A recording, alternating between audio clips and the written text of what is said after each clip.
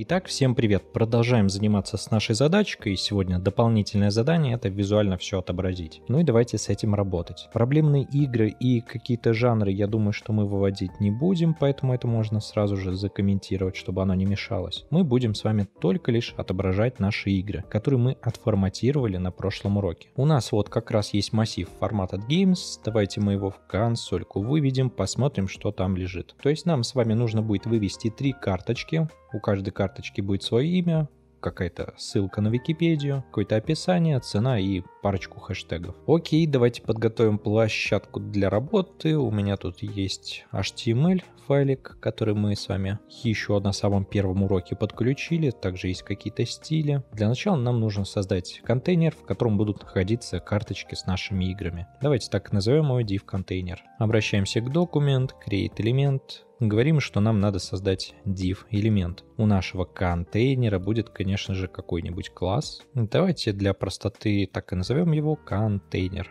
Ну и теперь обращаемся к нашему документ, говорим, что у него есть body, и в этот body мы запихиваем наш div контейнер. Обновляем страничку, давайте посмотрим, вот внутри нашего бади появился div. Только сейчас он стоит после нашего скрипта. Давайте запихнем его в начало. И если вы помните, то это делается при помощи функции prepend.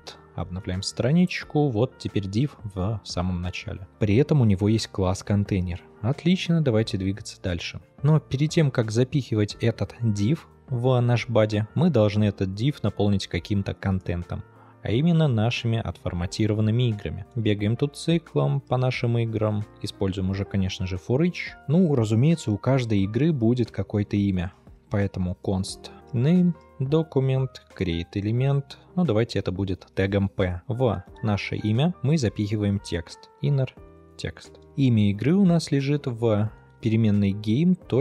Как оно там было, давайте посмотрим. Какое имя мы тут с вами а, ну просто game.name. Тут лежит имя нашей игры. Конечно же, тут будут какие-нибудь стили. Ну, на самом деле, стили, я думаю, что вы сформируете сами. Game name. То есть мы с вами какую-то минимальную верстку сделаем, но я совсем не обещаю, что это будет красиво. Вот у нас есть имя нашей игры с каким-то классом, с каким-то текстом. Соответственно, помимо имени нашей игры, у нас будет какая-нибудь цена. Ну, также можно это сделать через тег p. Давайте все это прямо и скопируем. Класс name у нас будет game.price, точнее тире price. И значение лежит, давайте консоль откроем, так будет проще работать. У нас цена лежит в переменной final price. Ну, дополнительно мы тут можем поиграться, опять же, с конкатенацией и вставить значок рубля. Чему бы, собственно, и нет. Окей, у нас есть уже какие-то данные, давайте мы их запихнем в наш контейнер. Ну, соответственно, у нас есть первый div. Это контейнер для всех карточек, но нужна какая-то одна конкретная карточка. Поэтому у нас будет еще одна переменная, тоже в виде дива, и назовем это game контейнер. У game контейнера будет, ну, наверное, только один класс, контейнер. Ну и в целом все. Теперь имя мы должны запихнуть в наш контейнер. То есть пишем game контейнер, например, append, и запихиваем наше имя. Потом, когда мы сделали цену, запихиваем нашу цену. Ну а в самом конце, когда мы наш контейнер наполнили каким-то контентом, мы этот контейнер запихиваем в наш общий контейнер. Возможно, это сейчас будет звучать сложно, но сейчас мы это разберем еще разочек. Давайте посмотрим, что для начала это работает. Смотрим. Вот у нас есть наш общий контейнер, который содержит в себе игры. Далее у каждой игры есть свой какой-то контейнер, который содержит имя этой игры и какую-то ее цену. Ну, то же самое для других игр. Как это работает? Вот мы создали наш общий контейнер для всех игр. Далее формируем контейнер только для конкретной какой-то игры. В этот контейнер для конкретной игры мы запихиваем имя, которое формируем, потом формируем прайс и тоже его запихиваем в контейнер для конкретной игры. А потом, когда мы этот контейнер наполнили каким-то контентом, в нашем случае именем и ценой, мы его запихиваем уже в общий контейнер. Ну а потом этот общий контейнер мы запихиваем в баде. Примерно так это выглядит. И, разумеется, тут мы можем теперь напихивать чуть больше контента, нам надо запихнуть описание и нам нужно запихнуть ссылку. Я думаю, что мы это сделаем по одному и тому же принципу. У нас будет какое-то описание description, пусть пока что тоже тегом p. Так, описание у нас лежит в переменной game game.description, если я не ошибаюсь. Давайте посмотрим в консоль game.description. И также у нас есть какая-то ссылочка. А вот ссылку мы сделаем тегом А. У нас тут будет link. Link будет тегом А. Соответственно, Здесь будет какой-то текст. Давайте мы напишем, посмотреть, ну, например, полное описание. У ссылки будет классным game-link и не забудем нашу ссылку запихнуть в контейнер. Description, price, меняем на description и не забываем запихнуть description в наш контейнер. Давайте посмотрим, что сейчас получается. Теперь должно быть чуть больше данных в нашем контейнере. Есть описание, есть ссылка. Кстати, ссылку мы можем запихнуть в наш контейнер game description. Да, я думаю, что так будет даже лучше мы ее пихаем не в общий контейнер, а в наше описание. Description, append и вставляем нашу ссылочку. Давайте посмотрим, как теперь это выглядит. Вот у нас есть description, являющийся тегом p, и здесь это выглядит вот так. Идет текст, а потом ссылка. Ну, давайте ссылку сделаем ссылкой. Обращаемся к нашей ссылке, говорим, что нам надо задать ей атрибут href. Значение этого атрибута мы достанем из game.link. Ну, то есть у каждой игры у нас есть тут ссылочка какая-то, вот она. И мы теперь это пихаем в качестве атрибута для наших ссылок. Давайте посмотрим, как наши ссылки выглядят. Теперь мы можем на нее нажать и перейти на статью в Википедии. Отлично, давайте теперь мы это чуть-чуть отстилизуем. Окей, стили я все перенес. Ну, тут все максимально простенько, обновляем страничку. Теперь наши стили должны были отобразиться нормально. Game Description. Видимо, я тут налажал со словом... А, я тут просто забыл написать description. Да, тут надо price поменять на description и все, то, что нужно. Тут у нас есть такая проблема, что некоторые ссылочки ведут в никуда, потому что этих ссылок у них попросту нету. Хрев сейчас устанавливается через значение undefined. Поэтому, если мы хотим устанавливать ссылку, то мы должны убедиться, что GameLink действительно существует. Поэтому делаем проверку, если есть ссылка, тогда мы ее создаем. Иначе ничего не делаем. Вот у некоторых игр теперь есть ссылка, у других нету. Ну и нам осталось вывести наши хэштеги. Давайте посмотрим, как оно тут называется. И называет, ну, так и называется, хэштегс. Окей, давайте это сделаем. Так, получается, создаем элемент.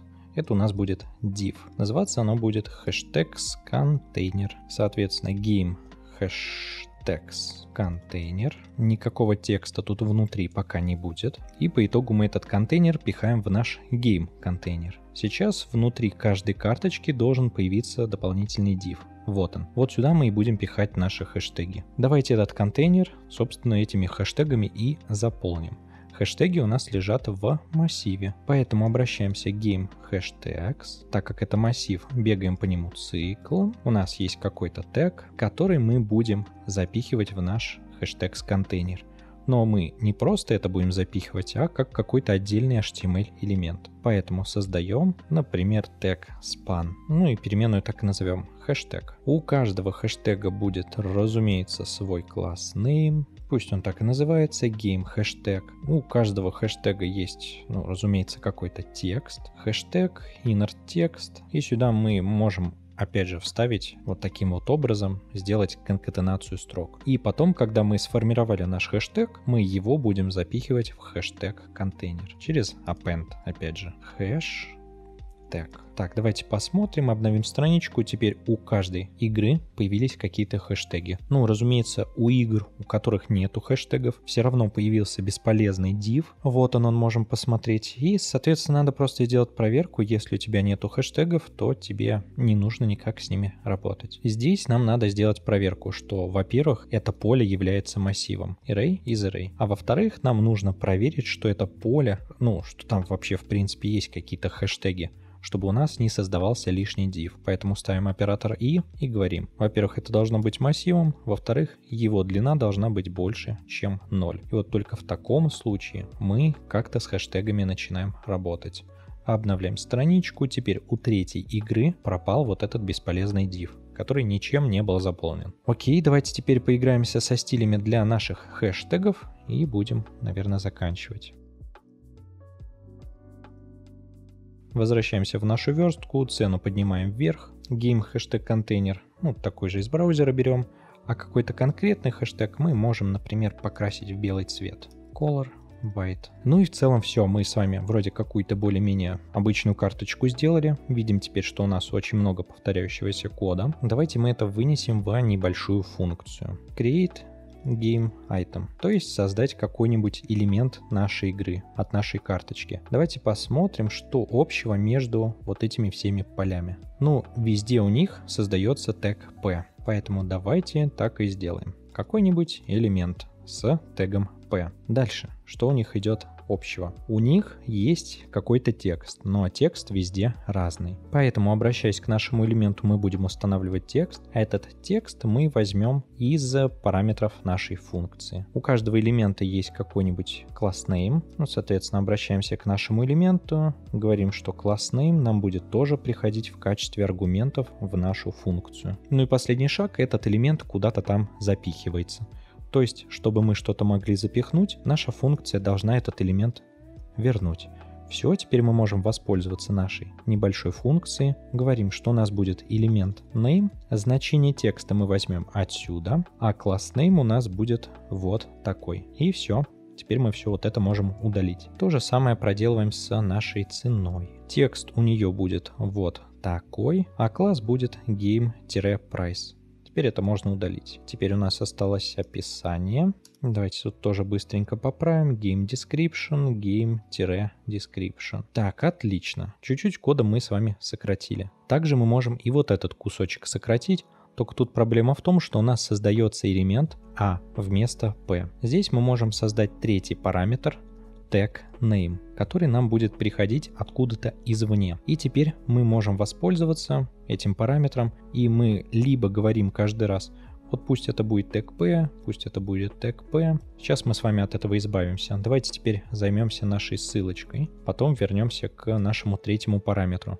А здесь у нашей ссылки будет уже тег a. У нее будет вот такой вот класс, а значение текста будет вот такое. Потом у нас будет создана наша ссылка, ну а значение href мы ей уже потом поставим, когда она уже создастся. И вот чтобы нам не писать вот такие вот постоянно тег p, создай нам тег p, тег p, мы можем с вами отсюда это убрать и сказать, что если нам третий параметр не приходит в нашу функцию, то здесь мы можем воспользоваться параметром по умолчанию. Когда мы разговаривали про функции, мы как раз таки этот параметр с вами затрагивали, поэтому получается вот так. Если кто-то пользуется этой функцией и не передал третий параметр, то TagName у нас будет буквой P. Ну а здесь мы уже передали третий параметр, поэтому здесь у нас создастся тег A вместо тега P. Ну и разумеется, этой функцией мы теперь можем воспользоваться и создавать хэштеги. Только теперь нам нужен элемент span, вот с таким классом и вот с таким текстом. У нас теперь есть хэштег, и вот это все мы можем с вами удалить. Отлично, мы чуток с вами сократили код. Давайте посмотрим, что у нас ничего не развалилось, все отлично работает, в консоли нет ошибок. Я думаю, что на таком этапе мы это можем и оставить. И теперь мы можем смело переходить к следующим темам JavaScript. Мы с вами много всяких функций повторили, которые мы с вами изучали на предыдущих уроках. Теперь с этими всеми функциями мы будем встречаться в будущем, когда будем изучать какие-то новые темы. Ну а на этом я думаю, что мы можем закончить. Все, всем спасибо. Всем пока.